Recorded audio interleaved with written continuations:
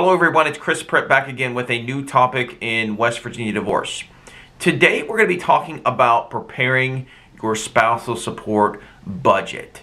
Okay, this applies whether you might be potentially paying spousal support or if you're someone who expects that you might receive some sort of spousal support or that if you think you're going to be needing it going into the future. So what you do is you start with all of the expenses that you have what going into the future. So let's say we're talking about a mortgage payment or rent, car payment, car repairs. We are talking about the cost of electric, all of your utility bills, how much you're going to need for food, how much you might need for a reasonable amount of, of uh, entertainment.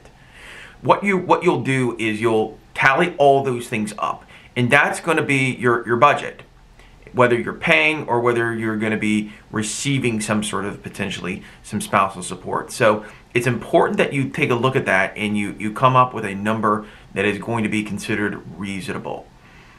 For the most part, what the courts will do is they will allow you to receive some sort of reasonable budget uh, going into the future for the most part. Now, I mean, every now and then you'll see some judges who might give you more than that, but sometimes um, that's not the case. So what you'll do is you need to use that as a starting point for trying to figure out how much you're going to need going into the future. Now what that'll be based on is whether it's going to be, uh, for example, rehabilitative or it's going to be permanent. Now longer marriages are more likely to be considered to be candidates for um, uh, permanent alimony. If you have a marriage that is of short duration, uh, then that is more likely to be in the camp of rehabilitative alimony.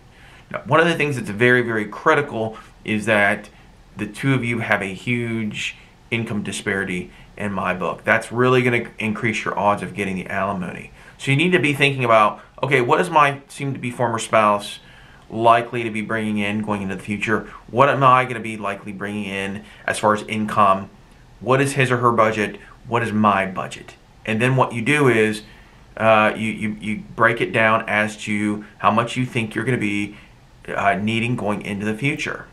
So just every conceivable expense you think you might have going into the future. Like for example, something that you might not think of such as clothing, um, some car repairs, house repairs. All of those things are things that you are going to need to be thinking about for developing a budget.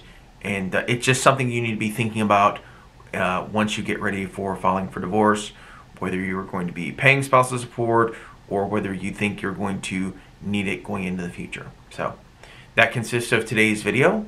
If you have any questions at all, feel free to give us a call or uh, send me an email. Have a good day.